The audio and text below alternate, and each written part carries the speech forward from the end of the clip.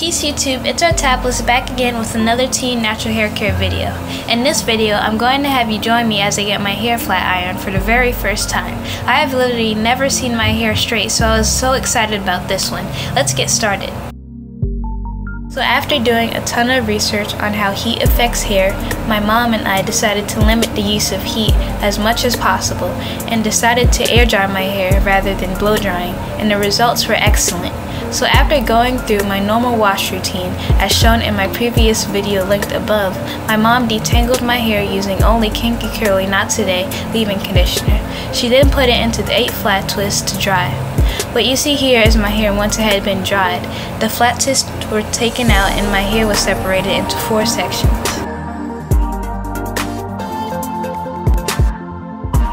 Now I did lots of research on heat protectants and since I am always looking to go the chemical-free natural route, I once again decided on a natural alternative.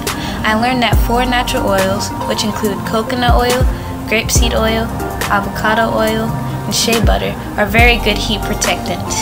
My mom also told me that she cooks with grapeseed oil and avocado oils for the same reason, because a lot of other oils turn toxic when used for cooking at high temps.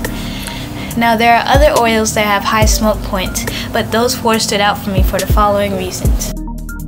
First, I like grapeseed oil because it is very lightweight and won't weigh the hair down.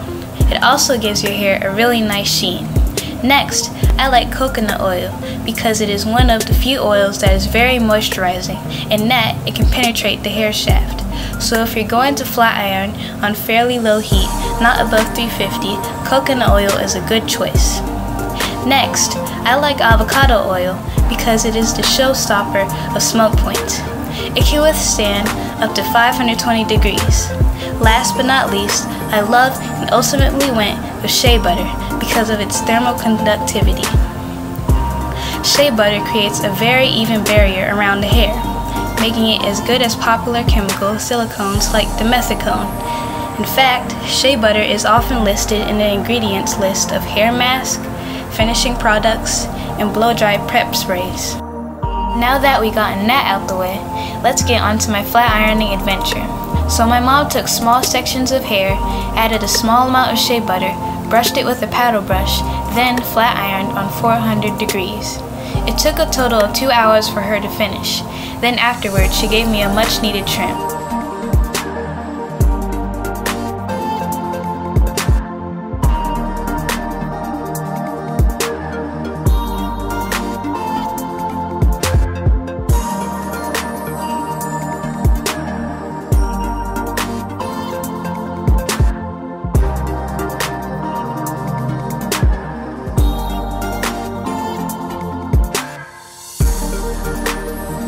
Sad as it was to have to lose so much hair, once my hair was straight we really saw the unhealthy condition of my ends, and we had to say goodbye to those dead split raggedy ends.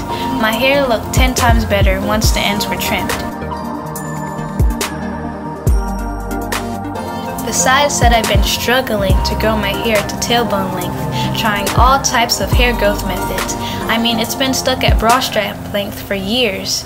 So after seeing my ends, I now know why. We just couldn't really see the true condition of my ends and my hair's curly state. So seeing my hair straight was much needed because it showed that my ends were the culprit in my stunted hair growth. It's not that my hair wasn't growing, it was that I wasn't retaining length. So now that my ends have a fresh start, I'm going to take extra good care of them and pay much closer attention to them. To do that, I will probably be straightening my hair at least four times a year so that I can closely examine them and trim when necessary. I'm sure that I'll finally start to see some length retention now. Anyway, that's it. I really hope that you enjoyed joining me for my very first flat iron. Let me know in the comments below of any useful tips that you have for safely flat ironing how often you flat iron, and what natural heat protectant you use. And before you go, if you enjoyed this video, please press that like button. While you're at it, remember to also hit that subscribe button if you haven't already done so, and follow me on Instagram. Stay tuned till next time to get more videos like this that help you on your journey to that tailbone length hair. Peace!